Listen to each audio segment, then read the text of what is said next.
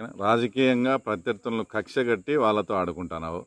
ఆ తర్వాత ప్రజల జీవితాలతో ఆడుకుంటున్నావు. ఆ తర్వాత వచ్చి- తర్వాత వచ్చి నిరుద్యోగులతో ఆడుకుంటాను అది చాలాగా ఉద్యోగులతో కూడా జీతాలు వాళ్ళ కరెక్ట్గా టైం వేయకుండా ఆడుకు ఆడుకుంటున్నావు. ఇదంతా కాక రాష్ట్ర భవిష్యత్తుతోనే ఆడుకునే పరిస్థితి ఉంది. ఇంకా ఇవన్నీ చాలాగా మళ్ళీ ఈ క్రికెట్ ఎందుకు స్వామి?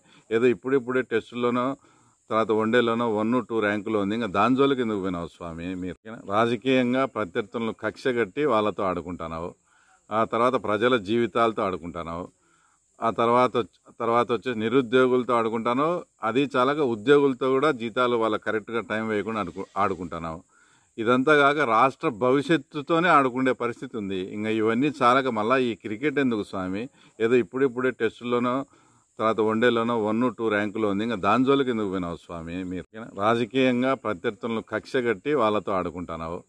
ఆ తర్వాత ప్రజల జీవితాలతో ఆడుకుంటున్నావు. ఆ తర్వాత